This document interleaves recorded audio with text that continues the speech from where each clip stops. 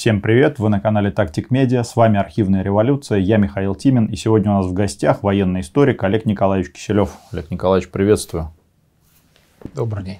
Олег Николаевич, сегодня мы переходим к совсем тяжелым событиям, я так понимаю. Да, начинаем говорить непосредственно про то, как случилось окружение. Ну, да, напомним, что в прошлый раз мы говорили о том, что 18-я дивизия удалось отбить предпринятую финнами на рубеже 39-40 года попытку разгромить ее основные силы э, в районе деревни Рухтина-Анмяки. Э, но положение оставалось крайне сложным. Основная линия снабжения дивизии была перехвачена финнами еще в последние дни декабря. Перевод коммуникаций корпуса на прибрежную дорогу был осложнен э, начавшимся циклоном, принесшим метели и засыпавшей дороги снегом. На их расчистку потребовалось несколько дней, и только 5 января первая колонна смогла дойти, добраться до Питкеранта. 18-я дивизия в результате де-факто осталась без снабжения, не считая небольшой помощи страны 168-й дивизии, и которая также сидела на полуголодном пайке. Логистику, увы, к сожалению, традиционно для этой войны очередной раз наказывал советское командование за пренебрежение к ней на этапе планирования. Попытки организовать воздушный мост к дивизиям провалился из-за плохой погоды и довольно непоследовательных действий командования 8-й армии. А, не достигли успеха предпринятые попытки разблокировать дорогу, отбросить финнов от нее. Ну, о чем говорили в прошлой реакции, Ну, да, да, да. Ни подошедший 620-й полк, ни 4-й погранполк НКВД, в общем-то, ситуацию исправить не помогали. Здесь мы вернемся немножко назад, перед тем, как начать говорить о планах финских еще в 1636-39 годах финской разведке удалось взломать большую часть шифров, которые использовались э, Красной армией. Вот так вот. И ну, не только армии, там. И флота тоже, да? Вот, там и НКВД, по-моему, частично.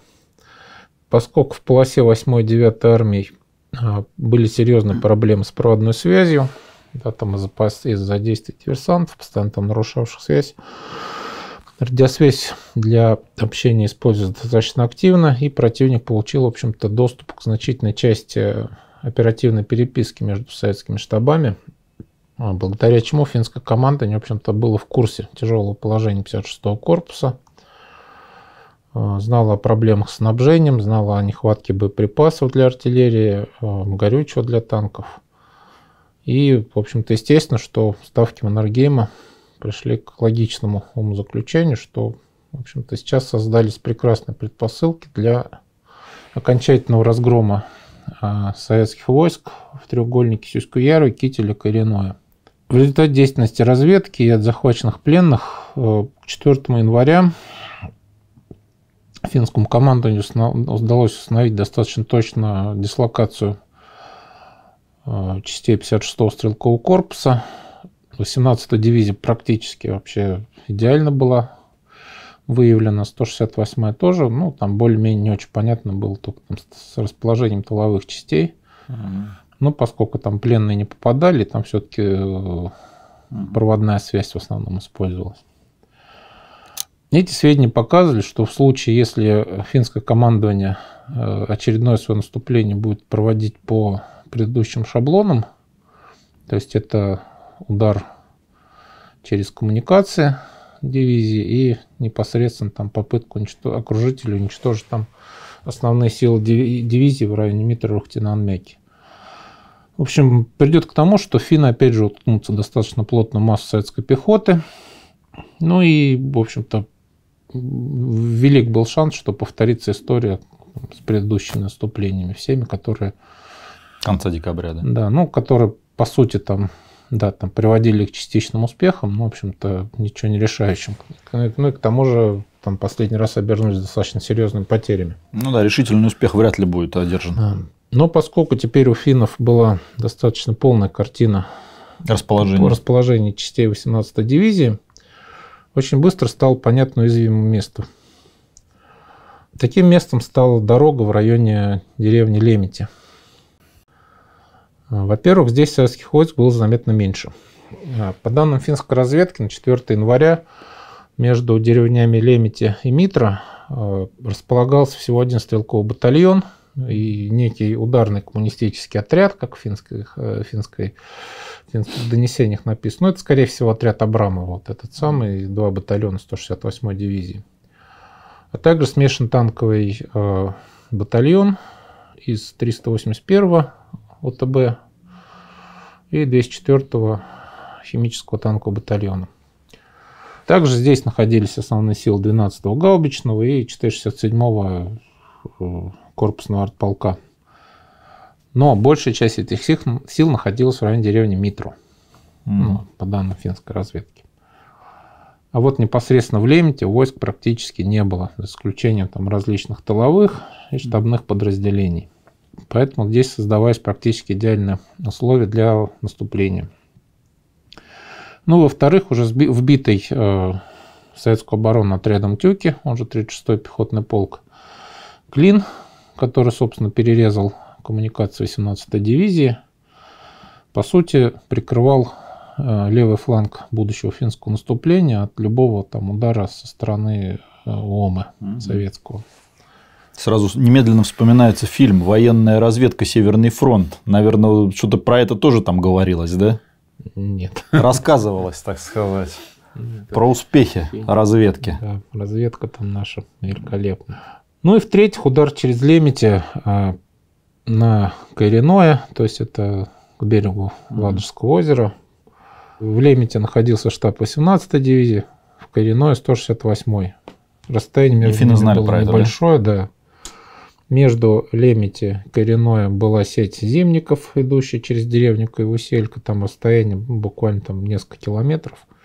Удар через Лемити на Коренное фактически лишал сразу 18-ю 168-ю дивизию управления и перерез... отрезал 168-ю дивизию от снабжения тоже. Угу. Кроме того, отсюда же можно было нанести удар на Питкеранту, это, так сказать, в-четвертых. Угу. И если одновременно с этим, ну, так скажем, в развитии, одновременно с этим э, отряд Тюки мог нанести удар на Ому, и таким образом финны фактически восстанавливали линию обороны, линию свою. обороны по реке Уксун-Йоки. То есть внешнее кольцо окружения фактически создавалось. Да, и здесь можно было действовать достаточно небольшими силами, в общем-то, в принципе, сдерживать ну, гораздо больше советские силы, потому что там было уже подготовленное ранее оборона, которая, которую оставили в силу, так скажем, нехватки возможностей тогда. Возможности, да, к обороне тогда еще в декабре. Вот сейчас как бы войску финнов было больше, возможность к обороне больше, соответственно. Вот, ну и как бы советская группировка 56-го корпуса оказалась де-факто, в общем-то, уничтоженной бы. В общем, выбор был, так скажем, очевиден для финского командования. А, потери финских войск а, действующих против 18-й 168-й дивизии а, с начала войны до 4 января составили уже более 850 человек только безвозвратными. Ну и как бы оценочно порядка полутора тысяч, видимо, ранеными. Напомним, что потери 18-й 168-й дивизии совокупные составили порядка 5, более 5,5 тысяч человек. Таким образом, соотношение потерь на фронте пока составляло 2,4 к 1. Ну, то есть с учетом того, что советские войска наступали значительную часть этого времени, в общем-то, соотношение потерь, в общем более-менее нормальное. Благодаря поступающим пополнениям финны могли частично восполнить эти потери, а благодаря тому, что они знали дислокацию состояния войск 56-го корпуса, они могли оставлять в обороне минимум сил и большую часть своих войск задействовать для нанесения непосредственно контрудара. Кроме того, э, к началу января финские войска на севере страны, э, как известно, не только успешно остановили советское наступление 9-й э, армии нашей, но и смогли нанести тяжелое поражение в районе Сумусалми.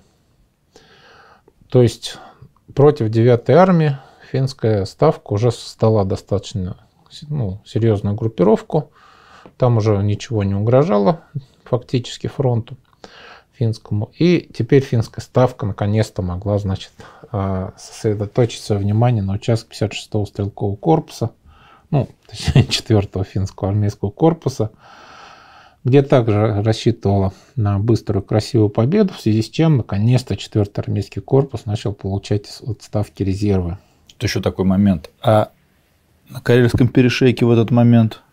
На Карельском перешейке в этот ну, как известно, в общем-то, я думаю, многим любителям истории, советское наступление забуксовало. Вот, Выдохлось. Забуксовало оно, можно сказать, уже после первой недели наступления, что, собственно, позволило финнам начать перебрасывать войска там же в группу Талвела, Угу. потом начать перебрасывать войска уже на север, то есть, ну, активно начать маневрировать резервами, когда стало понятно, что собранных на перешейке войск, в общем-то, вполне достаточно для того, чтобы сдерживать советское наступление. И в эти числа, грубо говоря, в первой декаде января на Карельском перешейке, в общем-то, никаких... всё замерло, Все да. замерло, да? Там активных боевых действий не шло. Там у финнов войск было вполне достаточно, как им казалось. Вот. Поэтому, в общем-то, можно было имевшиеся резервы направлять на периферийные участки фронта. Учитывая масштабы и, значит, грандиозные цели предстоящего контрнаступления, прямое руководство задействованными в нем войсками возлагалось непосредственно на штаб 4-го армейского корпуса и его командира, ну, командира корпуса, а не штаба, генерал-майора Хеглунда. При этом при полном контроле со стороны Ставки. Для координации действий к нему в э, конце декабря прибыл э, э, начальник оперативного отдела Генштаба финского, подполковник Вала Нихтеля. Если ты помнишь, мы еще в первой э, самой лекции этого цикла говорили о том, что Нихтелев в свое время, там, в конце 20-х, писал дипломную работу на тему использования тактики сдерживания на Корейском перешейке на севере с учетом рельефа и оперативных возможностей противника применительно к зимнему периоду времени. То есть человек Подготовленный был, мягко говоря. да, не новичок был для этого. ТВД ТВД для него был, так скажем, не в новинку. Всего на, в, в конце декабря, начале января 4-й армейский корпус получил население три отдельных батальона. Ну, два из них были, в общем-то, 17 и 22 отдельные батальоны, были взяты из состава сухопутных войск береговой обороны, Ну, не весь что. из секторов, из секторов Хельсинки и Котка. Вот. Как правило, такие батальоны формировались из там, ну, ну, считать второсортными частями. Такой же вот точно сидел на Мацинсаре, 23-й отдельный батальон. Формировались из э, призывников, ну, достаточно уже возрастных. Старших там, возрастов, да. Да, 30, там, 35 плюс. Ну, особой там боеспособностью не отличались, но, в общем-то, в обороне вполне можно было использовать. На второстепенных участках. Да. То есть для освобождения э, более, так сказать, опытных и боеспособных частей вполне можно было задействовать. Собственно, единственное в нем примечательно было то, что 18-й отдельный батальон был сформирован из э, шведскоязычных граждан Финляндии. И как только он появился на фронте, у нас сразу понеслась там волна переписок о том, что там шведские войска появились значит, на фронте. Шведы вступили в войну. Да, да, да, да, да. Вот третий батальон переданный был, конечно, совсем другая история. Это был четвертый егерский батальон. Э, Всего в, ег- в финской армии к началу войны было четыре егерских батальона. Это по праву считался элитой финской армии. Ну, это фактически были единственные кадрами пехотными частями э, финских вооруженных сил в межвоенное время. Вот, они вели там свою историю с марта 18 года. Ну, тут с определенными оговорками можно еще кавалерийскую бригаду добавить, но это фактически тоже два батальона. Там, там полком, как батальон пехотный. В декабре 4-й егерский батальон находился на Корейском перешейке. В общем-то, в первые же дни войны вступил в бой в секторе Раута, в составе группы прикрытия Раута. 7 декабря был выведен в резерв и, в общем до конца декабря в боевых действиях не участвовал. Хотя батальон был переброшен в полос 4 корпуса, решение его, примен... его вводе в бой имел право э, принять даже не командир корпуса, а только представитель ставки. М. То есть просто так вот там. Мгм. Командовал батальоном капитан Пол Лейк Йоханссон. Что интересно, не бывший егерь, ну, то есть не воевал там в Первую мировую войну. Ну, Он вообще треть- а, 1903 года рождения. А, В 22 году окончил университет в ВАСе. А, Поступил в кадетское училище. И, в общем-то, оттуда двинул, так скажем, прям по егерям. Вот, служил в гвардейском егерском батальоне, потом преподавал в школе офицеров резерва, потом в полку, в полку Корейской гвардии служил, командиром роты был, э, военную академию закончил в 1937 году, не нашел, к сожалению, какую тему он там писал диплом. И с 1937 года, в 1937 году был назначен командиром роты в 4-й егерский батальон. Угу. Вот, отключился в боях на подступе к Рауту. А после того, как командира батальона э, майора Нурми назначили командиром сектора обороны Тайполя, знаменитого, Йоханссона назначили командиром 4-го отдельного егерского батальона. Ну, то есть вот там такой парень без боевого опыта, но вполне себе как бы компетентный и подготовленный, да. Приказ о новом контрнаступлении был отдан 4 января, а на перегруппировку, на перегруппировку отводилось всего два дня, уже 6 января а, с утра должно, контрнаступление должно было начаться. Тут надо, так сказать, тут мы смело походу, походя развеем один из устойчивых мифов перестроечных, вот, а, про то, что финны окружили две советские дивизии силами шести батальонов. Mm. Конечно, это чепуха полнейшая.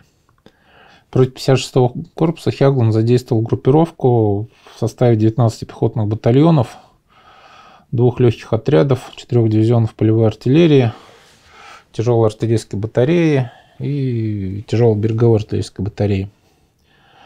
А общая численность финских войск превышала 20 тысяч человек – причем ну, серьезно превышало, скажем так. Формально 56-й стрелковый корпус имел в своем составе порядка 40 тысяч человек, около 40 тысяч человек. Ну, там, да, он понес потери. Ну, практически mm-hmm. столько, сколько начала войны, он понес потери, но, тем не менее, в него там вылили 620-й полк, там еще какие-то батальоны там прибывали. Вот, но тут нужно учитывать, опять же, несколько факторов. У корпуса были довольно громоздкие тылы. А, как свои, в общем-то, так и дивизионные. А если сравнивать, скажем, да, по числу батальонов непосредственно, то советское превосходство выглядит уже не столь внушительным. Mm-hmm. Потому что в состав корпуса на 4 января входило 24 стрелковых батальона и 3 разведных.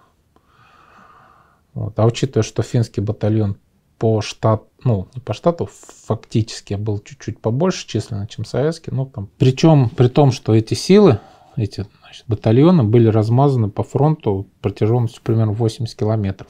Тогда как финны, владея инициативой, соответственно, могли концентрировать свои силы на интересующих участках. Вот. Поэтому, в общем-то, имеющееся у нас там превосходство, ну, примерно 1,25 к 1, вот, но оно, в общем-то, никакой существенной роли уже не играло. А из-за проблем в снабжении, в общем-то, огромное советское превосходство в артиллерии фактически было нивелировано к началу, к началу января. И только вот, ну, танки действительно еще пока оставались серьезным козырем, о чем, опять же, речь пойдет дальше. Острие финского наступления, как мы уже говорили, был направлен на деревню Лемити, а наиболее уязвимый участок по построению 18-й дивизии. Ну, деревня представляла собой достаточно типичный для здешних краев населенный пункт. То есть это, собственно, деревня, там в ней мельница, там всякие там хозяйственный магазин, еще что-то такое, несколько домов и несколько разбросанных по окрестностям отдельных хуторов там. Mm. Ну, в данном случае сама э, деревня, сама непосредственно деревня на, на советских документах получила название Лемти Северные mm. И располагалась примерно в двух с половиной километрах от стыка э, с дорогой, в двух с половиной километрах э, восточнее стыка с дорог с дорогой, идущей от Кителя на Сюську-Ярве. Угу. Ну, деревня, опять же, ее можно было назвать достаточно условно, потому что финны ее там спалили вообще дотла при отступлении. Он. Поэтому все равно, в общем-то, там личный состав в основном там землянка всяких ютился и палатках. Через Лемти шла дорога, которая спускалась с расположенного восточнее плато, проходила через деревню и, проходила, и шла, значит, собственно говоря, к стыку дорог по южному склону высоты Э, горы Рипамеки, она же высота 91,0. Я вообще для чего все это рассказываю, чтобы ну, было как понимание вообще, что из себя представляла э, местность, на которой будут разворачиваться дальнейшие события. Вот. Э, севернее дороги располагалась еще одна господствующая высота, о которой мы уже в предыдущих лекциях говорили. Это высота 104,9, наша гора Капанселька, от которой деревню отделял небольшой ну, заболоченный участок местности, где-то 400-500 метров в ширину. Э, с запада к деревне примыкало достаточно большое болото, занимающее практически все пространство между ней и дорогой на Митро. В общем, с точки зрения организации обороны, Лемити Северный был такой неудобный вариант, потому что ну, фактически она со всех сторон была зажата высотами. Mm-hmm. С, с востока плато, с запада это Репомяки, с севера, значит, 104,9.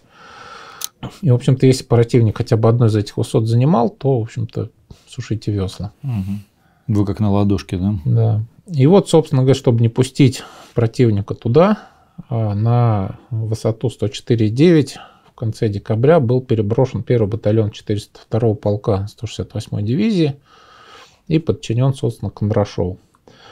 Занимая эту высоту 104,9, у него получалось э, левее, слева от него находилась Митра, занятая советскими войсками, справа от него находилось, э, собственно, это плато, которое также было занято советскими частями. То есть проскочить крупными силами мимо этой высоты было ну, никак невозможно.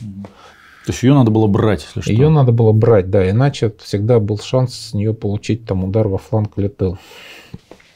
Но поскольку для обороны Лемити Северный был неудобно, там располагались в основном всякие там тыловые подразделения. Из боевых частей там был, была батарея 3-го артполка дивизии. Ну, также там сидел, например, э, отделение полевого автохлебзавода, что важно. Кондрашов э, свой командный пункт, собственный штаб, развернул э, еще 19 декабря восточнее Лемити Северного, не в самой деревне, а расположено примерно там в двух километрах хуторе с одноименным названием Лемити. В советских документах он получил наименование Лемити Южное. Здесь была достаточно плоская местность, вокруг было несколько высот, что там потом сыграет свою негативную роль, но на тот момент они все были заросшие лесом, и по сути, ну там обладание этими высотами ровно счетом никакого преимущества не давало. Считая себя в глубоком тылу своей дивизии, Кондрашов к организации обороны, в общем-то, отнесся достаточно плевательски Лемте Южного, это самого. Лишь в начале января из остатков там 224-го разведбата 34-й бригады. Путем добавления там к ним саперов, связистов был сформирован батальон охраны в составе там 480 человек, который, в общем-то, должен был обеспечить оборону гарнизона. Вот. Но поскольку там же находились э, артиллерийские части, там часть танков 83-го отдельно танкового батальона, ряд тыловых частей. В общем, там получился достаточно большой гарнизон, при этом там ну, боевых частей тоже хватало. То есть, в принципе, как бы ну, достаточно крепкий орешек был. Интересно, что финны, видимо, под другим ракурсом смотрели на карту, поэтому у них Лемити северная получилась, называлась Лемити западная, mm. Лемити южная, соответственно, Лемити восточная. Mm. Соответственно, э, главный удар, как раз, главная, так сказать, финская тропа наступления – вот, новый военный термин изобрел практически. В общем, а, главный удар э, финны наносили как раз-таки через район Лемити Северного, потому что там ну, самая слабая была оборона. Вот, естественно. Через, через район Лемити должна была наступать наиболее мощная группировка 4-го армейского корпуса, а, состоящая из э, боевого отряда Михеляйнин, пчела, mm-hmm которым командовал непосредственно командир 13-й дивизии полковник Хануксела, и боевого отряда Лохики армии «Дракон», с которым уже хорошо знакомы по всем предыдущим событиям под командованием во главе с командиром 39-го полка, полковником Аути, полковником. В составе Михеляйна было общей сложности 5 батальонов. Э, ему, кстати, был подчинен и егерский батальон, но вводить его в бой можно было только с разрешения представителя ставки. А, помимо егерского батальона туда вошли еще 4. А, легкий отряд, плюс легкий отряд, плюс две артиллерийские батареи. Всего около 6 тысяч человек. Напомню, что все это, вся эта красота была нацелена на гарнизон Лемити Северный. Вот это конкретный отряд – Михелянин был нацелен на высоту Лемти Северная, угу. на район Лемти Северная. Ну, то есть, который один батальон 402 полка Ну, по, по сути, да. Там, собственно, гарнизон был меньше тысячи человек, и плюс этот батальон на высоте 104,9. Ну, результат был немножко предсказуем, казалось бы. Собственно, Михелянин должен был снести штаб сначала 18-й дивизии. Так это южная, получается, Лемить. Он там южный тоже зацеплял. А, а мы об этом чуть попозже скажем. Угу. И потом основными силами бить уже на коренной, там, значит, уничтожать штаб 168-й дивизии. Наступавший левее э, Лохийской армии, ну, будем называть отрядом Маути, чтобы боевым отрядом Маути, чтобы там язык не ломать, угу. представлял собой фактически 39-й, баталь... 39-й полк без одного батальона. Вот, то есть там был штаб полка, два батальона, в общем. Он играл вспомогательную роль, он должен был обеспечить фланг Михелянина, а после того, как тот снесет Лемити, либо помогать ему значит, наступать на коренное, либо самостоятельно носить в зависимости от обстановки, либо самостоятельно наступать на Петкеран тоже. Хитрый план. В тылу всего этого дела располагался 12-й легкий отряд. То есть ну, расчет финского командования был фактически безупречен, можно сказать. У него получалась группировка численностью около 9 тысяч человек. Ну, в общем-то, на тот момент это был, ну, наверное, эквивалент всей 18-й дивизии которая была нацелена на ну, достаточно рыхлую советскую оборону в районе этой самой Лемити. Причем основной удар носился через Лемити Северный. Там вообще шансов не было. Ну да, этот сборный отряд из остатков разведбата там и присоединившихся они к ним. тоже, да, так скажем. Там хотя, ну, Лемти Южная насчитывал там порядка 4000 человек гарнизон, ну, там, я говорю, там большая часть была там всякие тыловые подразделения. Угу. То есть, ну, казалось бы, там. Ну да, там что северная Лемити, что южная Лемити. Боевых-то частей все-таки таких крепких, которые были не сильно там побиты, это получается только один батальон, а все остальное это так сборная солянка. Ну там танки были. Вот, ну, вот, танки. Я думаю, они еще скажут свое веское танки, слово. такое слово скажут. В общем, все это богатство на фронте примерно 5 километров должно было раскатать эти советские, значит, штабы, тыловые подразделения – которые как минимум вдвое уступали им по численности.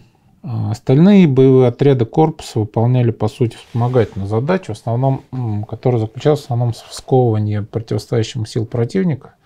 Ну, соответственно, для Срок, них да. противника, да, для нас там нет. Вот, с целью не допустить их отвода с фронта на помощь. А, Или просто отвода их с фронта. Даже да, не, не на помощь, да, а да, просто да, отвода да, из окружения. А, соответственно, боевой отряд Тюки и отряд Волкама, которые mm. находились восточнее, севернее дороги Улома э, Лавоярве, они в любом случае были до 10 января скованы с боями с 620-м и 97-м полком, которые пытались наступать, но они же как бы обеспечивали фланг наступающей финской группировки. Боевой отряд Ойнос под командованием подполковника Марти в составе трех батальонов артиллерийского дивизиона занимал оборону на фронте от э, Рухтяна-Анмяки до Рукаярви. На всякий случай в тылу его развернули еще 18-й отдельный батальон. Ну, учитывая там состояние противостоящим 316-208 полка, тут финнам как бы никаких сюрпризов ждать вроде бы не приходилось. Ну и боевой отряд Йоусимиес, угу. стрелец, угу. по-моему. Он же бывшая береговая группа. Вот, во главе с командиром 38-го полка полковника Молканином. Также имелся в составе три батальона, артиллерийский дивизион. В общем-то, активная оборона должна была сковать основные силы 168-й дивизии. В общем, план был такой. Как мы уже говорили, сроки на перегруппировку были достаточно сжатые. Вот. А, а тут еще метель. Mm самым негативным образом сказался на переброске частей э, и процессе сосредоточения ударной группировки.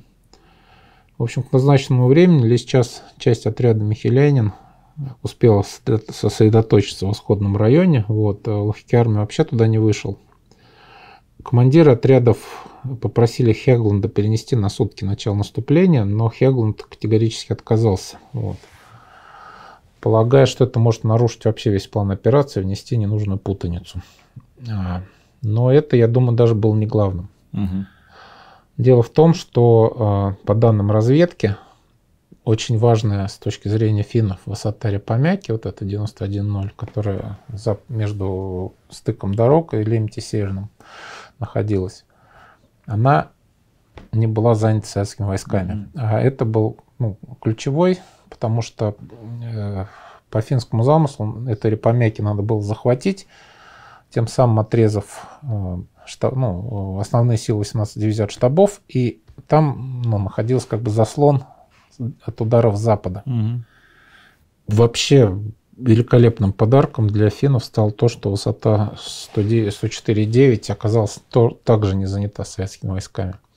Потому что, если ты помнишь, когда мы говорили про последнее финское контрнаступление, то в конце декабря, в начале января Кондрашов был вынужден снять этот батальон с высоты и бросить его для расчистки дороги от Митры на Рухтинан-Мяки. Угу. Вот. То есть вот этот вот батальон 402 полка да. сняли и отправили снег да, чистить. Он казал, он не снег чистил, нет, они, они, они выбивали финнов с дороги от метра на Рохтинанмяки. Угу. Тут, конечно, можно очень долго ругать Кондрашова за вопиющую беспечность, который фактически он оголил, в общем-то, оборону фланга своей дивизии в наиболее уязвимом месте, задаваться риторическими вопросами серии «Зачем он это сделал?», вот. Но тут дело в чем? А, ну, оборонять Репомяки, да, там, при занятой высоте 104,9 вообще смысла особого не имело. Западнее нее стоял отряд Абрамова. Перед ней, соответственно, сидел батальон 402 полка на высоте 104,9. То есть, который в случае проблем вообще мог из Митра без проблем помощь получить. Там меньше двух километров до нее было. Но батальон 402 полка пришлось снять. Вот, он расчистил дорогу, и после этого отошел в Митро. Тут, конечно, опять же возникает вопрос, а почему не оборот на высоту 104,9? Но... Здесь мы вспоминаем всеми нашего нами уважаемого Мирослава Тарча Морозова, который так, так. в одной из своих лекций сказал замечательную фразу, что противник по окончании, по поводу штурма Севастополя, противник по окончанию штурма не вывешивает плакат «Мы закончили», и э, командование дивизии не было уверено, что это все. Угу. Вот, то есть, в принципе, они ожидали, что противник может, ну, финны опять могут начать выйти на дорогу. Эту. Угу. И опять придется снимать да, батальон и да. возвращать его сюда, да? Да, да, да. А поскольку, ну, в высоте 104,9 пока вроде бы ничего не угрожало, вот, угу. то, ну, решили, что предпочтительнее, чтобы он в Митре был. Почему не задействовали для этого, ну, это, по сути, пассивная задача была, почему угу. не задействовали отряд Абрамова, я не знаю. Он, он не подчинялся Кондрашову. Вот. Ну, с другой дивизии был. Черепанов, видимо, не разрешал его по-прежнему использовать. Ну, конечно, очень странное поведение с командира корпуса, на мой взгляд, но тем не менее.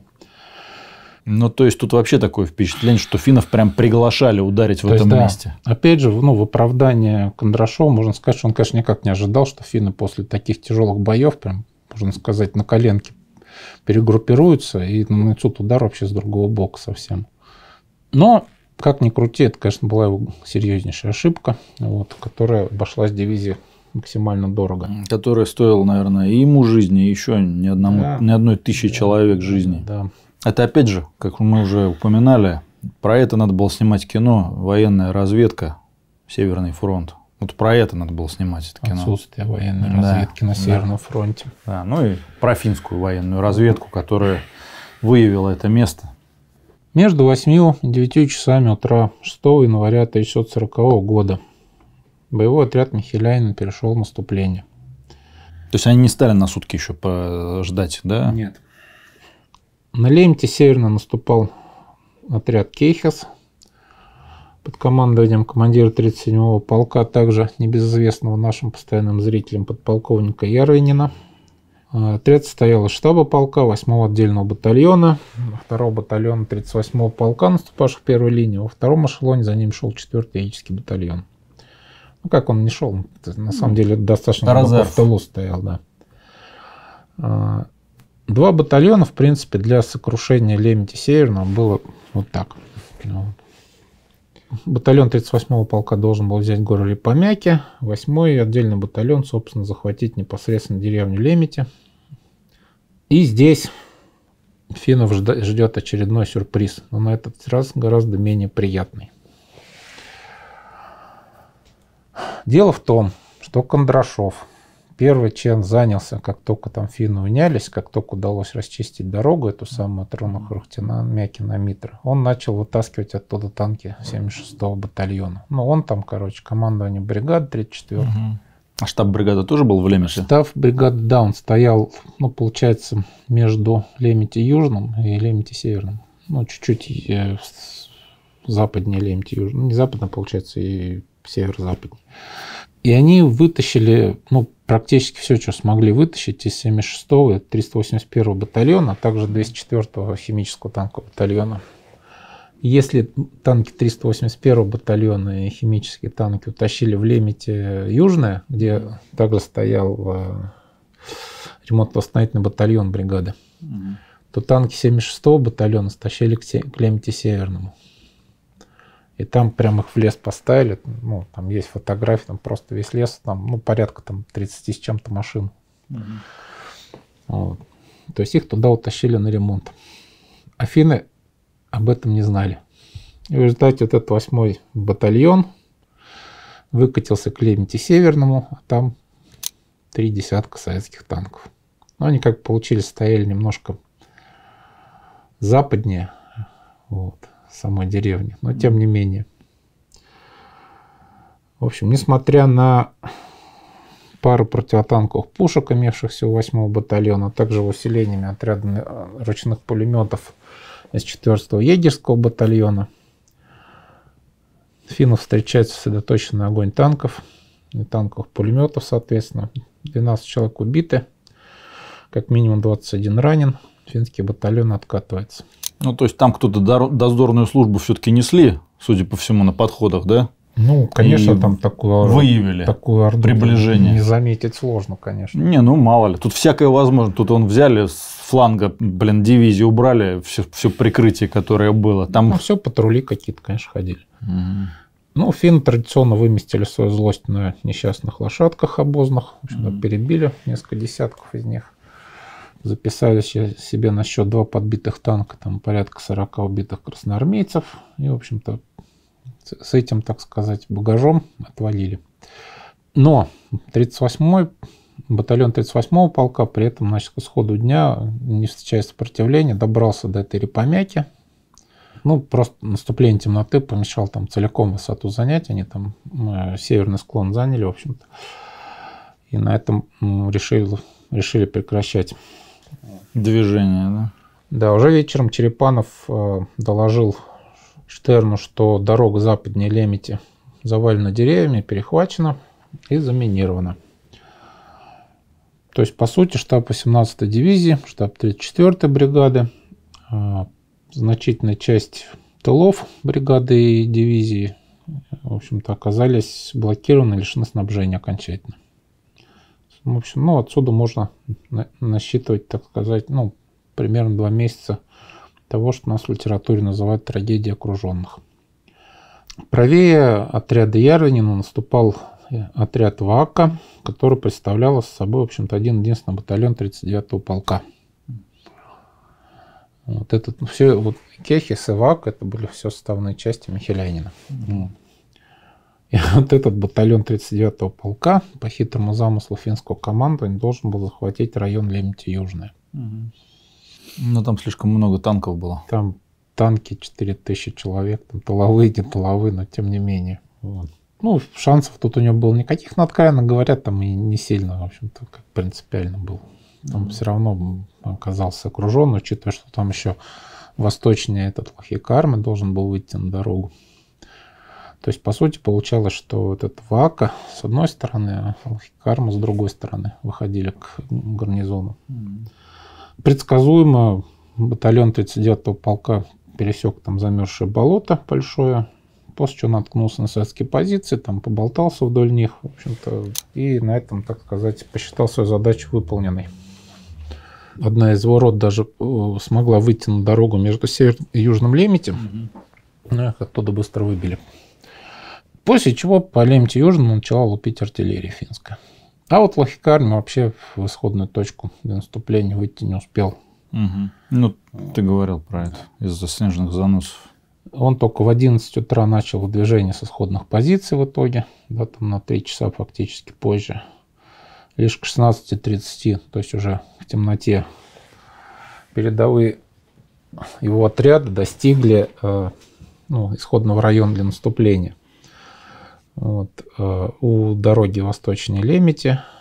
Ну, там они, в общем-то, обнаружили советскую танковую пехоту, решили, что на ночь глядя мы никуда не пойдем, хотя у них там тоже была противотанковая пушка угу. на, на каждый батальон. Угу. И по одному 20-миллиметровому зенитному автомату, который, в общем-то, тоже с танками бороться вполне себе мог неплохо. Но уже даже исходя из этих сведений, понятно, что к, к вечеру, там, к ночи, да, финны уже основными силами подошли, собственно говоря, обтекали и север, и Лемити южное, и Лемити северное. Пытались, ну, да. пытались, да. Вплотную, скажем, прямо подошли. По утверждению авторов финской истории Зимней войны в 2030 а, две роты вот этого отряда Лохика армия, угу. ну, отряда угу. Аути, они вышли, перешли через дорогу, пересекли дорогу восточнее, уже Лемити южного. Но в любом случае, как бы на, ну, непонятно, что они пересекли, в общем-то, и в любом случае никуда не ушли, вернулись, видимо, назад. Ну, может, и перешли. Пока все эти события в районе Лемити происходили, боевые отряды Йосимис и Ойнос старательно значит, изображали активность на своих участках. Вот. Ойнос в очередной раз смог перехватить дорогу между Рухтинанмяки mm-hmm. и Рукаярви. Финская артиллерия весь день старательно лупила по Митро. В районе Рукаярви финскому батальону даже удалось вытеснить э, второй батальон 316-го полка, ну, собственно говоря, из из занятой части деревни Рокаярви, там, там всю деревню не смогли захватить. В общем-то, это, конечно, сильно дезориентировало советскую команду, потому что, ну, Кондрашов решил, что... Продолжение, короче, да, следует. началось продолжение наступления вот, финского. По старому плану, скажем так. Да. Боевой отряд Йосимис одним батальоном при поддержке артиллерии форсировал э, на участке обороны 168-й дивизии реку э, Сюскиан-Йоки и начал развивать наступление в направлении Кителя. Но там как бы вообще силы были несопоставимые. В общем-то, он достаточно быстро был остановлен, отброшен контратакой, но сохранил за собой небольшой плацдарм на восточном берегу. В целом, по итогам дня Хегланд был, ну, в общем-то, доволен так скажем, удалось захватить главную Турипомяки. На удивление неплохо, так сказать, выступили Ойнос с этим Йоусимиесом. Хеглун даже решил, что ну, вот этим дом отрядом надо более активные задачи поставить угу. на дальнейшие действия. Вот. А, а пока остановил наступление – на 7 января Ойнес получил задачу своим правым флангом продолжать развивать наступление вдоль э, восточного берега озера Рокаерви и занять деревню Ихрилан-Мяки, ну, его южной конечности. Mm-hmm. А ему навстречу должен был бить э, батальон вот этот, который плацдарм захватил. Mm-hmm. Если бы у них это получилось, то э, один из полков 168-й дивизии, 367-й, если быть, его главная сила оказались бы окружение. Так и час сил 18 получался, тоже, наверное, попал бы в окружение. Нет, они, получается, как бы... Ну, а, ну я понял, вдоль, карте, вдоль южного берега, да. На карте я, понял, я покажу, да, да. То есть они отрезали mm. части, которые были в восточнее, западнее Кителя. Понял. И 316-й полк 18-й дивизии э, потерял бы связь со 168-й дивизией. Ну да, понятно. Но он не был окружен, в принципе, мог напрямую через лес уйти в Митро. Угу. Если получил такую задачу, он потом, кстати, так и сделал. Но, забегая вперед уже, чтобы не возвращаться к этой теме, ничего из этой задумки не получилось. Ну, отряд Йо семьи не смог никуда вообще, ну, понятно, там одним батальоном куда-то уйдешь против двух полков советских. Вот. Э, ничего у них не получилось. В общем-то, наступление он там побил советскую оборону, успокоился на этом. Ойнос смог, так сказать, выдавить окончательно 316-й полк из этого Каярви, но часть 316-го полка ушла в это Ихреланмеки как раз. Вот, и там, в общем-то, финны опять же уперлись в советскую оборону, ничего не добились. Ну, в общем, они там потыкались до 8 января, и Хеглунд прекратил все это дело. Все эти ваши нелепые Да, движения. кстати, что интересно. 9 января, согласно финским данным, Мгм. сидевший в Рухтинан-Мяке 208 полк 18-й дивизии перешел в наступление. Мгм.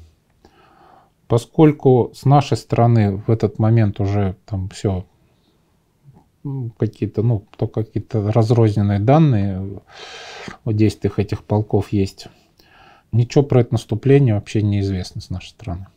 Зачем, почему, как бы, с какой целью. Я так думаю, я так думаю, что от 168-й дивизии получили часть боеприпасов для артиллерии. И воспользуясь этим, командир 208-го полка решил вернуть под контроль вот этот самый лесной холм, о котором мы говорили, господствующую высоту, с которой висит Рухтинан Мяки, как на ладони была. Вот. Видимо, он Может, пытался возможно, это да. сделать. Ну, в общем, в любом случае, как попытка была безуспешной, ну, к сожалению, да, ну, мы ничего про это не знаем, по сути говоря. Тем не менее, эта активность встревожила Хиаглунда. Он задействовал свой резерв для подпирания э, отряда, отряда Ойнос. Ну, в общем-то, поскольку никакого развития этой истории не получилось, в целом там с 9 января на участках группы Ойнос и ОСМИС установилось относительное затишье. Основные же события развивались в районе Лемити, куда мы, собственно говоря, и возвращаемся. Естественно, Черепанова активность противника в районе штаба 18-й дивизии крайне обеспокоила. И вечером поступила информация ему, что в районе Лемити взял в плен офицер 38-го пехотного полка, О как. который, по имевшимся разведданным, вообще должен был находиться где-то юго-западнее Сюську-Ярви.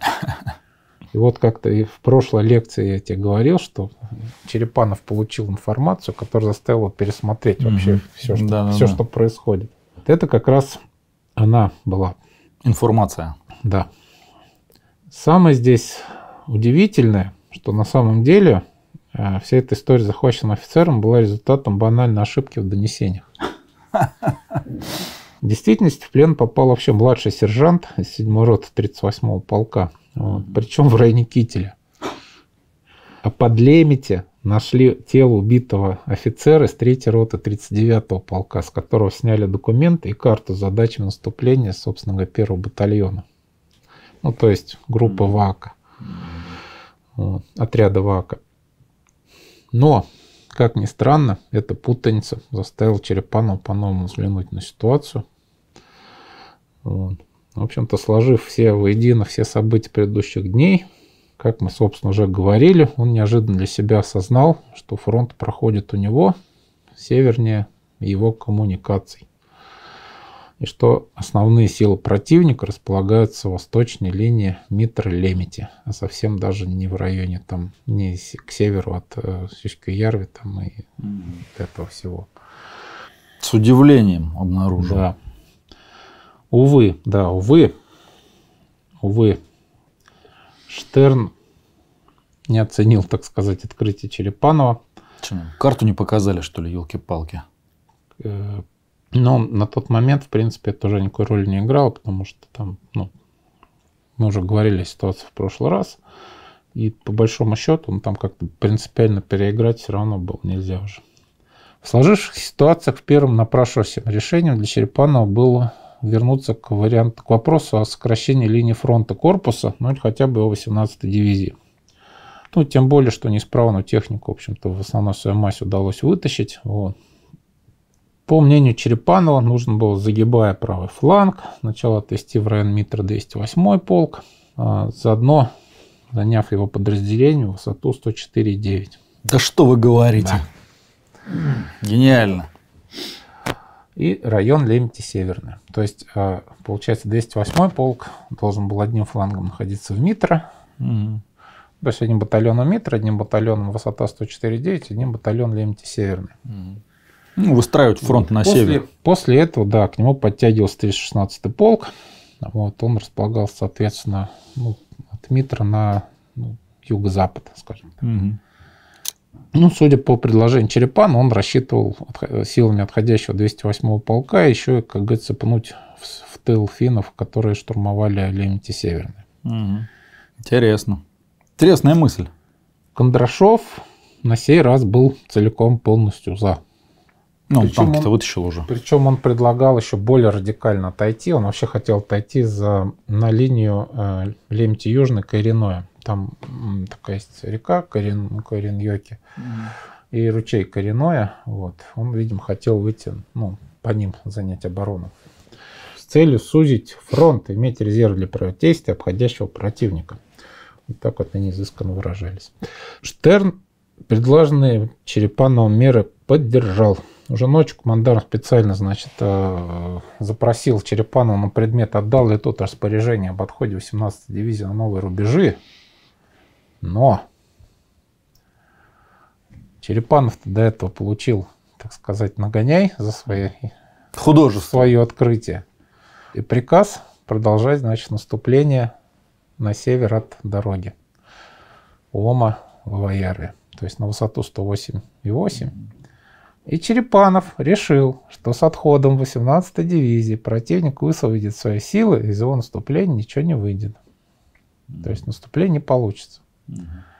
Вот. И он решил повременить с отходом.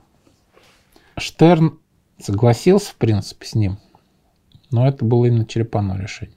То есть он решил ну, буквально там пару-тройку дней подождать. Видимо, еще не очень, ну, невидимо, а совершенно точно он еще не очень понимал, что происходит, потому что если бы понимал, конечно, решение на отход последовало немедленно. Но это, да, закрывая вопрос о том, запрещал ли Штерн отход- отвод 18-й 168 дивизии. Нет, не запрещал. Сначала этому воспротивился Кондрашов, потом повременить решил Черепанов. Не, ну Кондрашов-то то, что он хотел, он сделал. Он все-таки технику-то Да, вытащил да, да. с поля боя. Но он понимал прекрасно, кто за это отвечать будет. Просто, опять же, учитывая то, что мы говорили в прошлой части, как нерешительно действовал Черепанов там в, в- в отношении вот этого своего контрудара а, силами 97-го и 620-го полков, что он здесь-то тогда решил, э, что он тут еще мямлился и ждал, ну, вообще непонятно. Ну, то есть, как- какое-то... С одной стороны, здесь вроде он тоже нерешительно действует, и здесь он не разрешает отходить. То есть, что-то он непонятное замыслил. Возвращаясь к вопросу о разведке, да, Да. Военная разведка, Северный фронт. то, что Штерн с недо- с недоверием отнесся к э, словам Черепанова о развертывании основных сил противника за флангом 17-й дивизии, в общем-то, в целом понять можно. Как бы, скажем так, доказать, что Штерна было не так, чтобы слишком много, там какой-то убитый, какой-то пленный, что-то вообще, ну, какая-то мутная история. А авиаразведку-то он вести не мог. У него там самолетов же не было. В лесу что-то разведаешь. Да, да. Ну, блин, вот не знаю. При этом, несмотря на то, что войсковая разведка в полосе 8-й армии работала гораздо лучше, чем у соседей, Мгм. ясного понимания установки у него все равно не было. А то, что противник в район 56-го корпуса перебрасывает дополнительные силы, в принципе, как бы это было очевидно. Вот. Хуже было понимание, зачем и куда.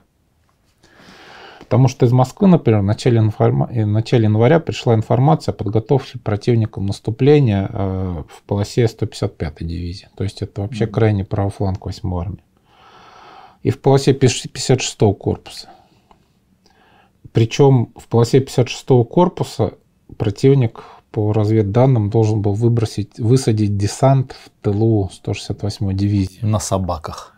Ну, тут, видимо, имеется в виду, наверное, с Мантинсари, что я не знаю, что они имели в виду, но, видимо, с На Мантинсари кораблях там Ладожской флотилии. по льду, там, не знаю, короче, в общем, вон. На ледоходах.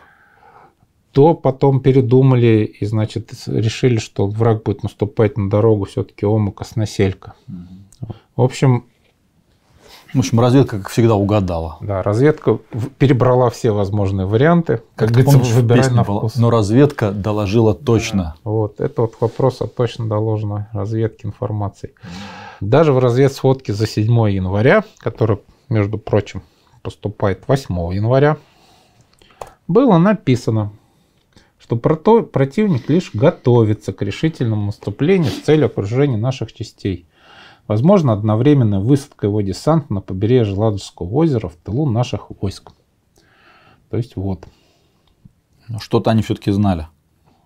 Ну, понятно было, что финны готовятся к чему-то, да, там, вот, ну, к чему, когда, где, вообще, в общем, никакого понимания не было. В принципе, с тем же успехом, ну, когда там думал Кондрашов, могли там повторить всю эту историю там с попыткой, в общем-то, разгрома под Рохтинан-Мяки наших там основных сил, главных сил 18-й дивизии.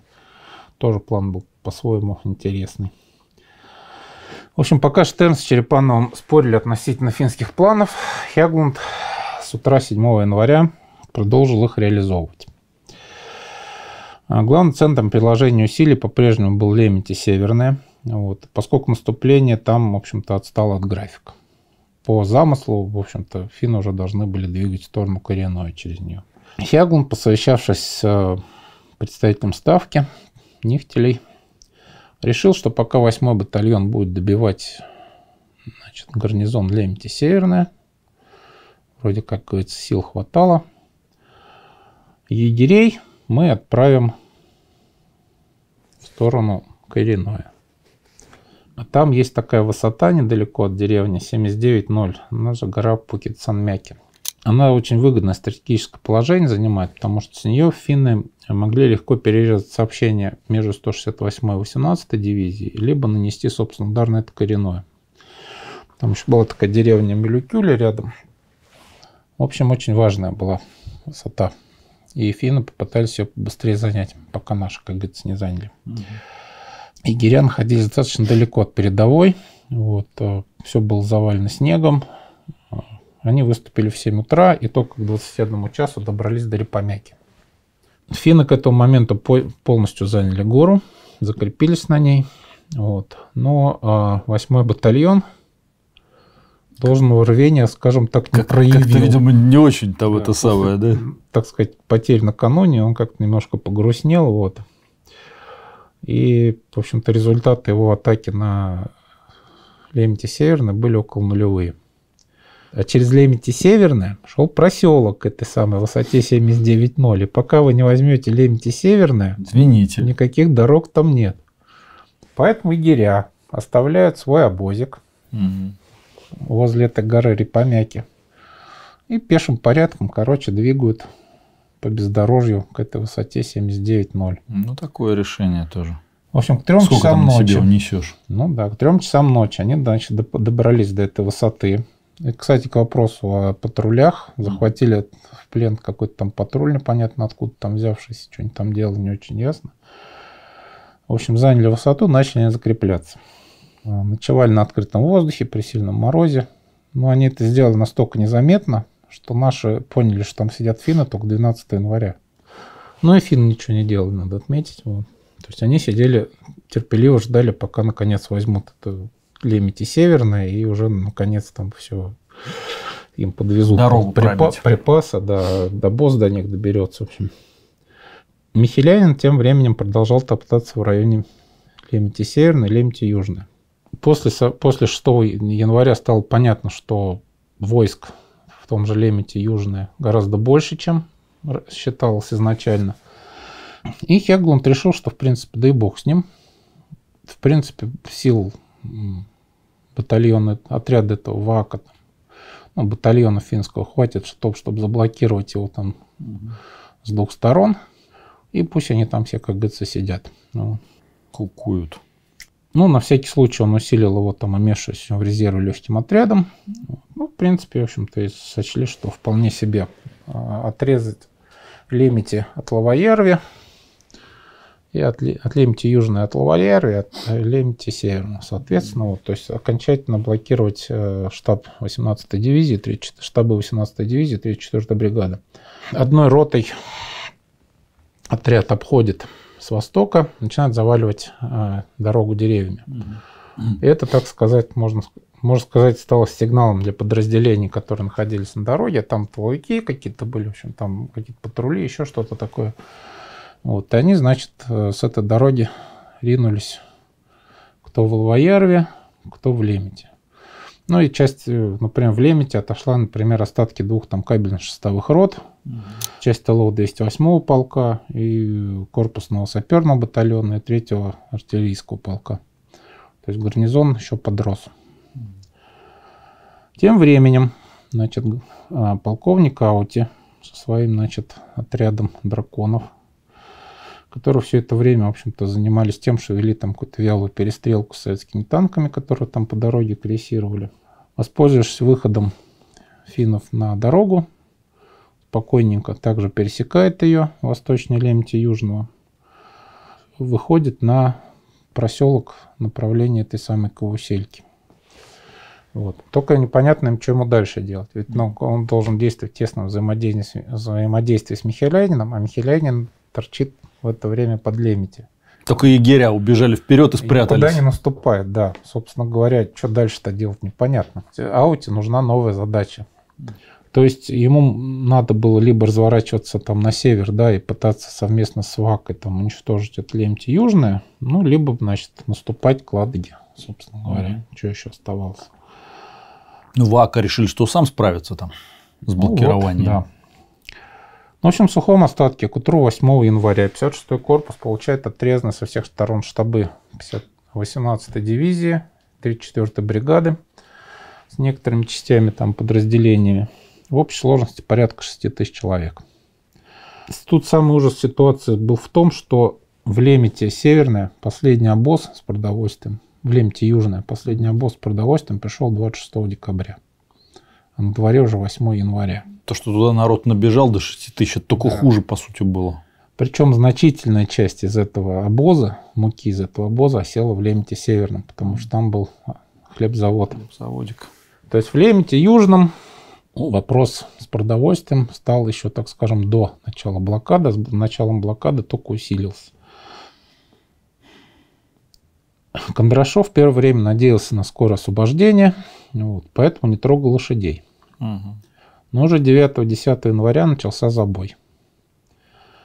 Причем, опять же, поскольку надеялись, что это как бы ситуация долго не продлится, сам Кондрашов писал, каюсь, в этом вопросе нам была допущена неправильная ошибка. Конину начали давать без нормы, отсюда повели желудочные заболевания, запасы конины в скором времени не иссякли.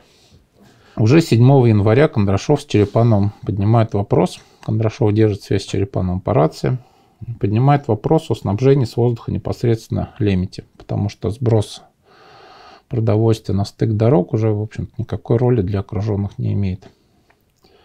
В тот же день командир 168-й дивизии, полковник Бондарев, получает приказ всеми силами и средствами, что бы то ни стало, к утру 8 января деблокировать штаб 168-й дивизии. А командир 118-й дивизии получает приказ срочно отвести назад 208-й 316-й полки.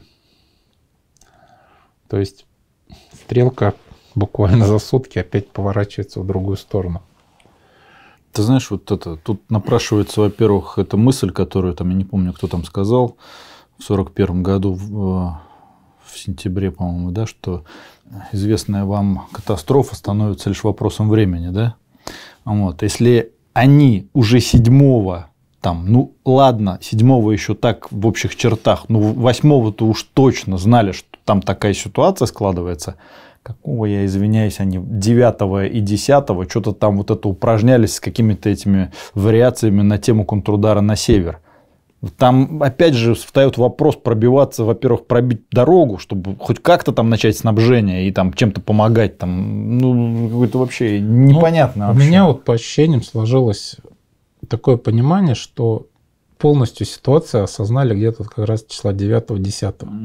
И этому способствовали дальнейшие события. До этого как бы там ну, думали, что что-то там какие-то отряды небольшие, угу. что-то там. Ну и опять же. И из этого, вот сейчас я буду рассказывать, из этого видно, какие контрмеры предпринимали. Опять же, ну понятно, что у вас еще есть одна вроде дорога вдоль берега, и там через нее можно там, так сказать, через 168-ю загнуть туда, опять же, снабжение. Но это, ну понятно, вот в связи с этим понятно вот это вот э, желание развернуть 168-ю, эту ну, часть все, сил. Же, и же отрезали уже. Там ну, да, по Приморской да. дороге-то, ну, по прибрежной дороге тоже не доезжено тут все. Mm-hmm. Там от стыка дорог шло, все, никак больше. Не, ну ты же говоришь еще вот этот вот э, проселок, который был от... Эм, ну, там именно, что там туда груз, на грузовиках не поедешь. Не проедешь, Нет, да. Там снабжать, но это только вот в пешем порядке. Вот. Ну, егеря ж прошли. Опять же, это, ну, егеря вообще по бездорожью пошли, не на лыжах, не то что. Но потом оригинальный способ снабжения, который ты предлагаешь, тоже пойдет в дело. Вот. В общем, в связи с полученной задачей Бондарев Бондареву временно подчиняют все части 18 дивизии, находящиеся в западней Лемете. Поскольку при этом 97-й полк находится в подчинении штаба 56-го корпуса, фактически у Кондрашова ничего не осталось. У Кондрашова осталось только гарнизоны Лемити Южной и Лемити Северной. Но у Бондарева нет связи ни с 208-м, ни с 316-м полками. Поэтому Кондрашов все равно продолжает ими рулить. Понятно. Естественно, в штабе 168-й дивизии, у которой вообще там свои задачи и заботы, никто не имел никакого представления, кто какими средствами вообще окружает Кондрашова. В общем-то, а сроки, которые им поставлены, были, так сказать, максимально сжатыми. Задача, соответственно, решается опять же на ходу. Для деблокады было выделено три отряда силами примерно в роту каждый. Понятно. А, рота из состава 1 батальона 402 полка под командованием капитана Кустова, Кускова, прошу прощения, наносила удар на лемте через высоту 104,9. Еще один отряд из состава разведбата 168-й дивизии должен был пробиться к штабу 18-й дивизии с юга, как раз через эту там Кайвусельку и mm. прочие эти всякие там проселки. Третий отряд вообще непонятно откуда взят, но очевидно из отряда Абрамова просто больше неоткуда. Он наступал на Лемете южно из района развилки дорог. То есть он фактически огибал Лемете северный двигал напрямую к Лемете южной. Ну, результат, как ты понимаешь, был немножко предсказуем. Вообще все странно.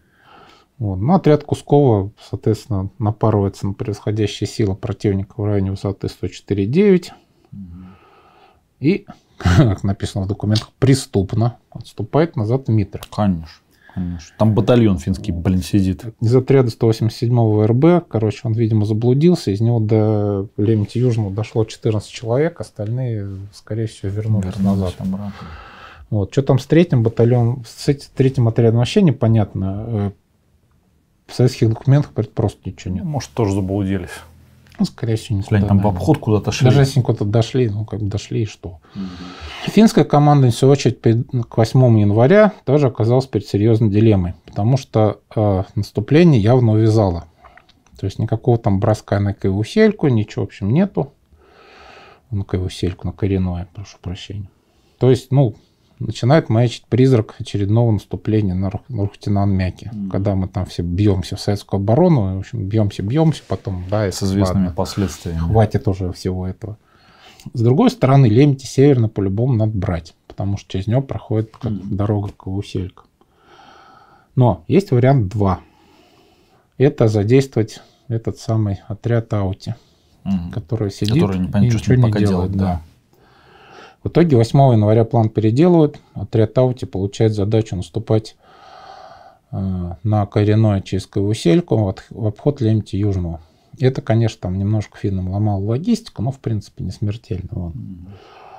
По расстоянию получалось примерно то же самое, но если бы, например, Кондрашов рванулся на прорыв там, в, том, в сторону Лемти Южного, отряд Аути оказался бы де-факто Угу. Отрезано. Полуокружение, да. В, ну, в окружении, что там в пол. Потому что у него единственная коммуникация проходила там чуть-чуть восточнее Лемти Южного. Вот. Но э, Хягланд с решили, что, в общем-то, игра стоит свеч. Э, Аути получил на усиление 12-й легкий отряд и начали наступать на Койвуселька. То есть они, грубо говоря, переиграли свой первоначальный да. замысел, и то, что да. даже у них оставались на флангах с двух сторон очаги сопротивления, они все равно поперлись между да. ними, короче, в прорыв. Да. Ну да, с, прям говоря, рискованно. Конечно, Аути, отряд Аути был сильно слабее, чем отряд, чем Михеляйнин. Ну да. Что там, два батальона всего лишь? Ну, там с легким отрядом три а, получается. Ну. Конечно, да. Чего ж там. Но он там еще там егерских себе потом прибрал, ну, да, когда да, дошел да. до этой да, высоты. Да, да. Уже, как говорится, не та мощь удара. Угу. Вот. Но, как говорится, хоть что-то. Хоть какой-то вариант, да, там не завязнуть в очередных там боях на советских позициях. Михелянин получил задачу добивать такие гарнизоны в Лемете и после этого, значит, э, двигать вслед за Аути. Угу. Для этого Хануксела получила с резерва Хяглунда 18-й отдельный батальон. Кейхас должен был добивать Лемти Северное. Ему для этого вместо ушедшего егерского батальона дали еще один батальон. И после того, как он добьет Лемти Северное, должен был, значит, вместе с Вакой добивать Лемти Южное. Вот после чего, значит, уже вслед за Аути вперед с песнями. К, Ладожск... к берегам Ладожского озера. Да. 8 января э, Ярвинин, командир отряда Кейхас, возобновляет штурм Лемти Северного. Поскольку, как говорится, бодаться с танками у него желания было мало, он просто обходит гарнизон с юго-запада и выкатывается на позиции батареи 3-го артполка и захватывает их. В общем-то, казалось бы, батарея обороны Лемити Северного вот-вот рухнет. Но, как говорится, наши взяли себя в руки, организовали контратаку. Видимо, в ней даже, может, какие-то танки участвовали там на остатках горючего. В общем, они выбивают финну с этой батареи, отбивают обратно пушки. На следующий день Хаглунд снимает с высоты 104,9 18 батальон и также бросает его в атаку на Лемте Северное. Ничего себе. То есть э, и батальон 38-го полка, который на Репомеке сидит, он частью сил тоже атакует. То есть он атакует с запада, 8-й э, батальон с, с юга, а 18-й с востока. В 9 утра начинается атака. Результат превзошел все ожидания Ханукселы, но не в том смысле, в котором ему хотелось бы.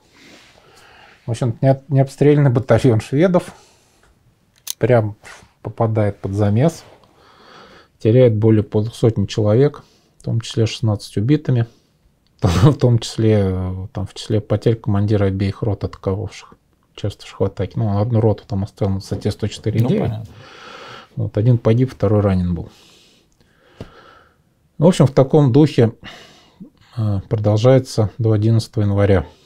Но после серьезных потерь 8 и 9 Фин уже, как говорится, немножко... Фин пошел не тот. Фин пошел не тот, да. И швед частично. Одна из участниц э, событий, э, Венфельдшер Екатерина Андреевна, Венфельдшер хлебзавода, как раз это сам, так описывает события вот этих дней. Наш лагерь находился под непрерывным обстрелом, стреляли со всех сторон. Пуль дырявили брезент, палаток, звякали о железо печей, попадали в тесто и застревали в свежевыпеченных буханках. Такие обстрелы проходили по несколько раз в сутки. Подойдут на лыжах лесом, обстреляют и снова тихо. То есть, ну, по сути, они занимались просто вот этими раздражающими налетами. Угу. То есть в решительную атаку они не, не это самое не ну, переходили. Ну, все же, да, там по сути они. Ну, в общем-то, оно и понятно. Восьмой отдельный батальон ходе боев с 6 по 12 января безвозвратно потерял 48 человек. Это больше, чем за весь предыдущий период боев вместе взятый. Шведы из 18-го батальона за три дня потеряли 33 человека безвозвратно. Ну, в общем-то, в ночь на, с 11 на 12 января Хягланд, понимаю, бесперспективность дальнейшего штурма прекратил атаки Лемти Северного – а батальонной группы Кейхас решил использовать на других участках фронта. Для гарнизона Лемти Северного бои, конечно, тоже дались очень тяжело. Вот. А на начало окружения, по данным штаба 18-й дивизии, там было порядка 1400 человек. Mm. Из них около 450 отличный состав 76-го отдельного танкового батальона. Конечно, сейчас уже никто никогда не узнает, сколько там Реально За это время погибло людей, сколько там было реально людей. В общем-то, это уже, конечно, все, к сожалению. О том, насколько напряженная ситуация царила в гарнизоне, говорит тот факт, что командир 76-го танкового батальона, капитан Рязанов, 10 января был расстрелян за трусость командирами, находившимися с ним в гарнизоне. То есть там ситуация была, мягко говоря, сильно нервозная. Но по одной из версий расстреляли его за то, что он предлагал прорываться из окружения. Понятно. Но прорыв из окружения это означало, опять же, бросаем танки. Бензина уже не было, да? Все. Но в любом случае на все танки не хватило. Ну, там пусть там 5, 6, 10 уехало бы, остальные все бросить. Ну, как я говорю, уже, к сожалению, мы никогда не узнаем, что, на самом, что деле, там на самом деле случилось, вот, потому что большая часть, конечно, документов погибла вместе с гарнизоном в итоге. А кто там старшим был вообще? Рязанов. Он и был? Ну, То он есть- командир батальона танка 11 боевой части. То есть он... Его, скорее всего, расстрелял в общем, политрук батальона, скорее всего. Ну, понятно. Ну, или кто-то там из политработников, которые там были.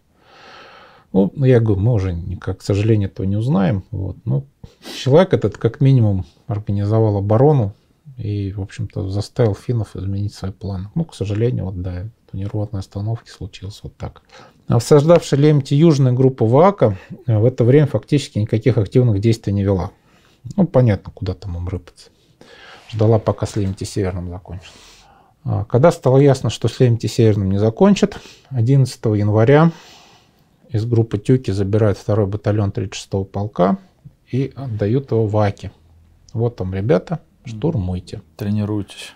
Напомню, опять же, что 9 января закончились атаки, прекратились атаки 97-го полка на высоту 108,8, что дало возможность финнам снять оттуда лишний батальон. К вопросу о бесполезных наступлениях. Да это понятно, но мы уже тоже говорили о том, что оно вроде бы, блин... Наступать не туда надо было. Да, вот это, сожалению. Так, да, вот. Ну, понятно, что это, опять же, мы сейчас все это видим. Тогда людям, конечно, было сложнее в этом плане, хоть что-то там разобраться. Ну, вот это, но тем не менее, это очень хорошая иллюстрация к тому, что вот там бестолковое, бессмысленное наступление. Ну, все, ты прекратил наступление, прекратил давление, и немедленно тут батальон снимает и вперед поехали в другом месте. 11-12 финны пытаются в Лемете южное штурмовать. Штурм заканчивается ничем, но судя по мизерным потерям, там за два дня там, около 10 человек Не на сильно батальон, хотели, прямо скажем. Не, не особо рвались, так скажем. Ну, понять их тоже можно. Да, пушки, Там танки, танки. артиллерия, там, ну, куда, как говорится, в такое богатство-то. Тем временем, 8 января, боевой отряд Лохикарми получает новую задачу и начинает наступление на запад к Иуселька. К вечеру того же дня шедший в авангарде 12-й легкий отряд вышел к окраинам деревни. Там находились в это время тыловые подразделения 168-й дивизии. Они вступают в бой и доносят, соответственно, Бондареву об этом, а тот, в свою очередь, Черепанову. Новости, так скажем, были, мягко говоря, неприятные, поскольку это означало, что противник, по сути, обходит гарнизоны в Лемете. Да что там говорить?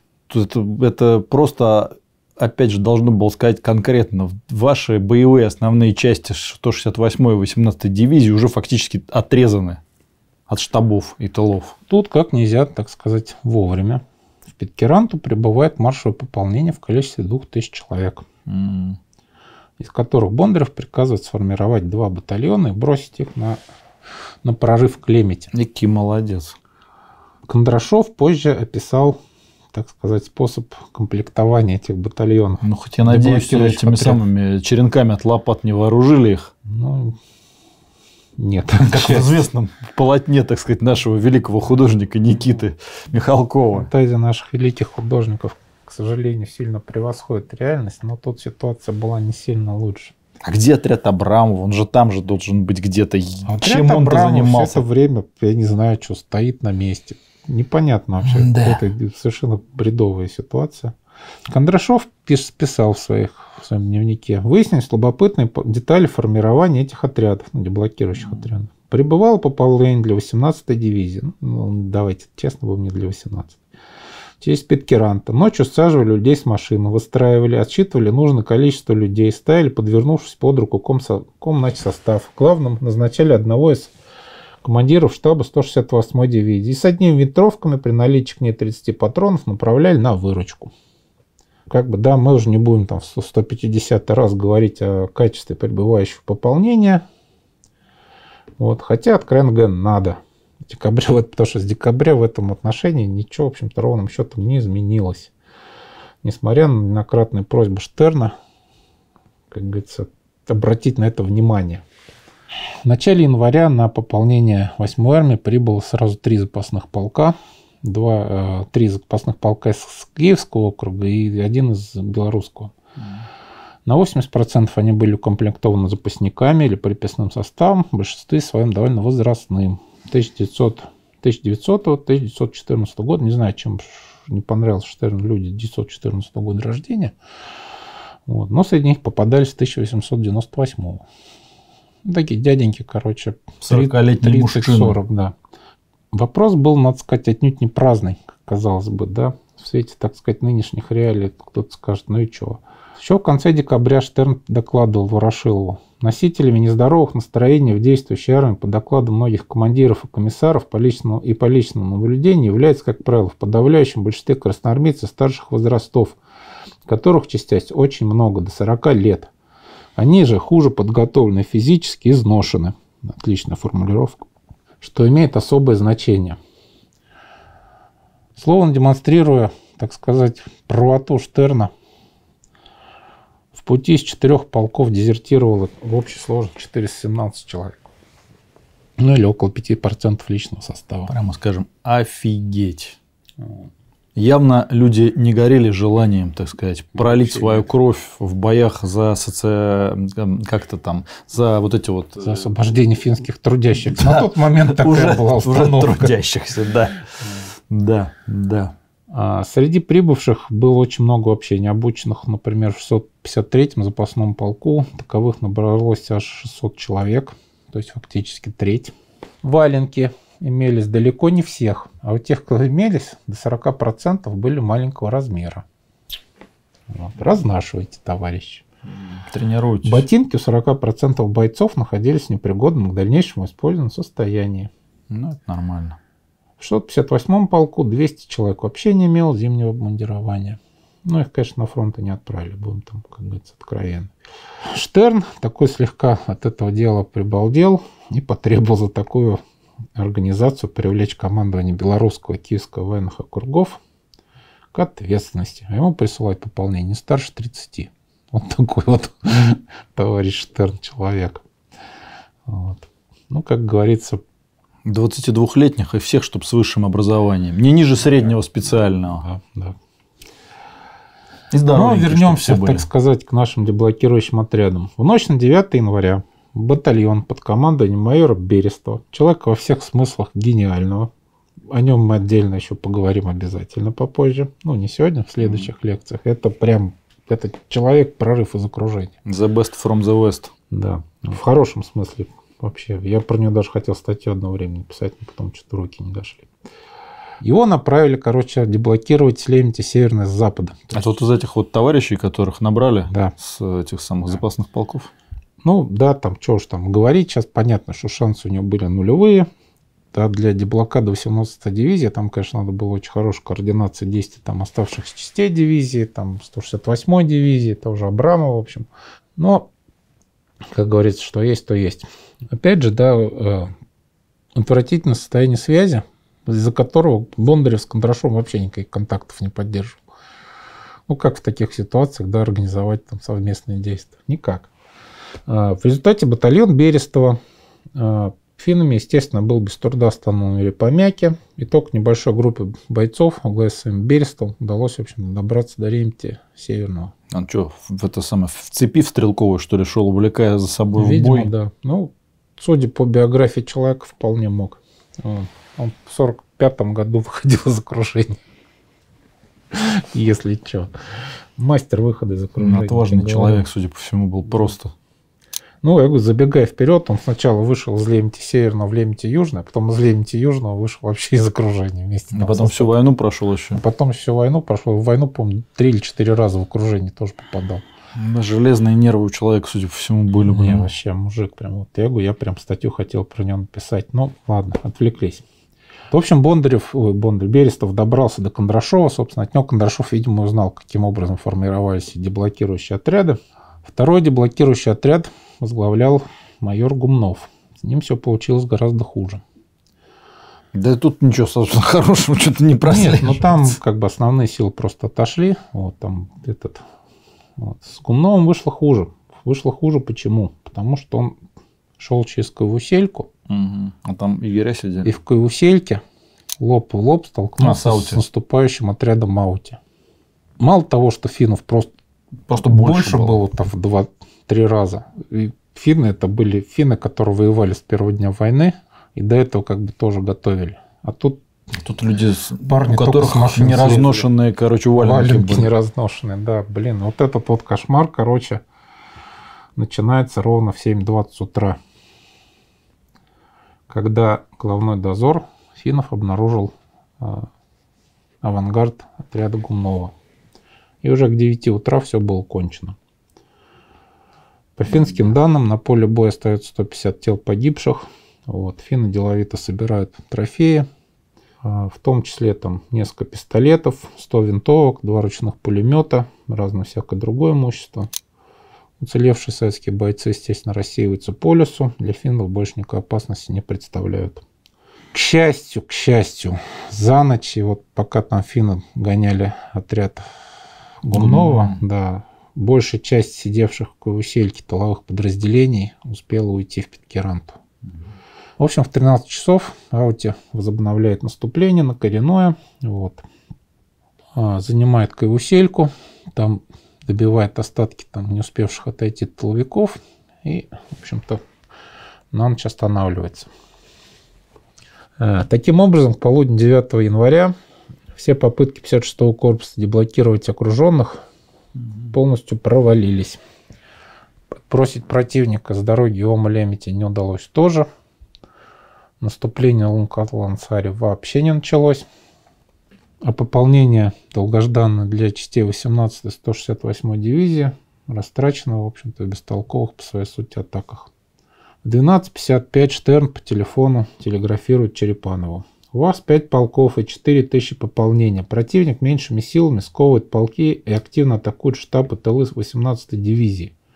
Надо сказать, что тут еще Кондрашов, конечно, регулярно слал там телеграммы в стиле нас там, мы постоянно под артиллерийским обстрелом, нас там постоянно с этих сторон атакуют. В общем, подливал, так скажем, масло в огонь как мог. Ну, его тоже можно понять. Конечно, можно. Кто он же не знал, что там один батальон осаждает. В общем, командующий приказал сформировать группу из не менее чем двух тысяч штыков из состава полков пополнения. Эта группа полностью освободить Кондрашова. Надо сказать, что раздражение Штерна прям даже сквозь Документы. Ступы, скупые строки документов пробивается. Он буквально бомбардировал управление Ленинградского округа, генштаб, лично Ворошилова, телеграмме, пытаясь там выбить, добыть для армии самое необходимое.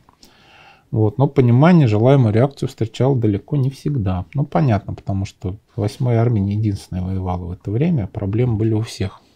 8-я армия еще, причем регулярно 9-ю объедала. Обворовывал на предмет там батальон, автобаты себе оставлял там по этому поводу. Чуйкова тоже есть замечательные переписки со всеми. Вот. Ну, мы сейчас про восьмую говорим. Что еще хуже, жизнь, некоторые жизненно важные для армии решения принимались вообще без, так сказать, согласования со Штерном. Ну, например, Генштаб самостоятельно распределил, где какая прибывающая дивизия для 8 армии будет высаживаться. Нам тут лучше известно в Москве. Ну, да, жираф большой, мы виднее, да. В результате чего, например, по, лады, по маршруту Ладейное поле, Ланец, Пряжа, Палалахта одновременно должны были выдвигаться сразу три дивизии. Ну, это гениальное решение, на мой взгляд. А дороги там и сейчас, так скажем. Не очень. Не фонтан. Прямо То скажем. есть это привело бы к транспортному коллапсу очень моментальному. Штерн считал, что в Москве видит ситуацию исключительно своей колокольни. В Москве нифига не понимают вообще, что происходит, и не могут оценить сложность положения, в котором оказалась армия. 3 января Штерн попросился лично прибыть в Москву для доклада, оставив вместо себя командарма Курдюмова, командарма второго ранга Курдюмова. Но Ворошилов отказал поскольку полагал, что установка не располагает к тому, чтобы командующий покидал свой пост в ответственный момент. Ну, тут сложно с Ворошиловым, конечно, поспорить. А тут еще Черепанов, значит, у которого 40 тысяч человек под рукой. Тот донимает командующий своими внезапными откровениями относительно обстановки на фронте. И требует прислать ему еще одну дивизию. Куда он ее возьмет, вопрос, да? То никак не может своих подчиненных ну, решить, в общем-то, несложную с виду задачу там какие-то финны бегают непонятные, в общем. Диверсанты какие-то да, финские. что-то окружают там. Хотя там 40 тысяч человек, вообще раз затопчи их просто. Mm. Комкор 56 начал откровенно раздражать Штерна. И зная крутой нрав его, Штерна, а не Комкора 56, можно предполагать, что Иван Николаевич Черепанов в обозримой перспективе мог, в общем повторить судьбу снятого с должности Комкора-1 комкора первого стрелкового корпуса Панина. Его не расстреляли, он потом еще и войну командовал. Все. Но, тем не менее, Черепанов вполне мог лишиться своей должности. И забегая вперед, скажем, что для Черепанова это был бы лучший выход. Но Штерн решил поступить иначе. Черепанов получил приказ немедленно отправляться на КП к Бондареву. И, цитирую, если у командования 168-й дивизии не хватает воли, запятая, лично организовать атаку. Тем же вечером Черепанов с небольшой группой работников штаба выезжает значит, по Лалахту, откуда садится на самолет и улетает в темноту 168-й дивизии. К счастью, к тому времени советские войска перестали массово сбивать связные У-2, поэтому Черепанов благополучно добрался до места назначения. Один, что ли?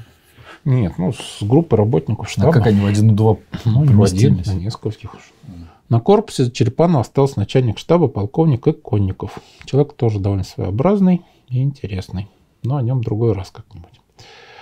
В общем, пока Штерн раздавал всем заслуженные пряники, вот, дракон, полковник Аути продолжали медленно двигаться дальше на запад. Но ночь они провели в Коевусельке и с рассветом возобновили движение. Около 13.30 отряд полковника Аути пересекает железную дорогу сортовала Питкеранта – и к вечеру второй батальон 39-го полка занимает высоту 66-0 у юго-восточной окраины Кэрри-Ноя, перерезав таким образом дорогу кителя Питкеранта и блокировав подвоз большей части войск 56-го корпуса. 10-го, да, получается у нас? Ловушка захлопнулась. На этом мы заканчиваем очередную часть. И в следующий раз будем говорить о том, как финны пытались восстановить линию фронта по реке Уксун-Йоки, в частности, взять Питкерант. Ну и отметим, опять же, довольно беззубое действие советского руководства. Ни Штерн, ни Черепанов не смогли организовать. То, что... На самом деле, вот то, что ты сказал, это было правильное решение, которое Штерн поручил Черепанову, ехать именно туда. И потому что, как ты опять же показывал, между, банально между штабом 168 и 18 дивизии не было связи. Поэтому кто должен был решать этот вопрос? Ну, даже если не Черепанов, то какой-то его зам в ранге там, заместителя ну, командира корпуса. Туда, что... Ну, это то же самое там также Москва управляла, посылал своих представителей там в штабы армии. В общем. Это немножко другое. Тот самый Штерн, он туда приехал как представитель ну, ставки. А потом... И возглавил потом, да. Не, это понятно, но вот именно в этой ситуации одно только можно сказать, это сделано было слишком поздно. То есть это должно было быть раньше было сделано. По крайней мере, в ситуации разбираться надо было раньше. Она была слишком запущена к этому. Боржоми. Конечно, да, тут это совершенно точно. К тому моменту уже что-то там сделать было. Уже сложно. Да. Что седьмого там, ну, до восьмого уже, ну, что седьмого что-то можно было еще. По крайней мере, там лемти северной деблокировать можно было. Вот, ну, то есть перевести это в стадию, опять же, вот этого Рубилова там на узком участке фронта. Да, да, отводить потихоньку полки вот, с да, передовой. Если бы в это время еще отвели там 208 316, там можно было как-то что-то ну, 9 там 10 уже поздно было, конечно, во всех смыслах. Да, катастрофа, которую вы, про которую вы все понимаете, стала неизбежна. Спасибо огромное. Печально, конечно, но что делать? Друзья, спасибо огромное, что прослушали этот ролик и посмотрели. Э, особенная благодарность тем из вас, кто поддерживает нас на платформе спонсор. Только, только благодаря вам выходят, в общем-то, все наши ролики. До свидания, до новых встреч.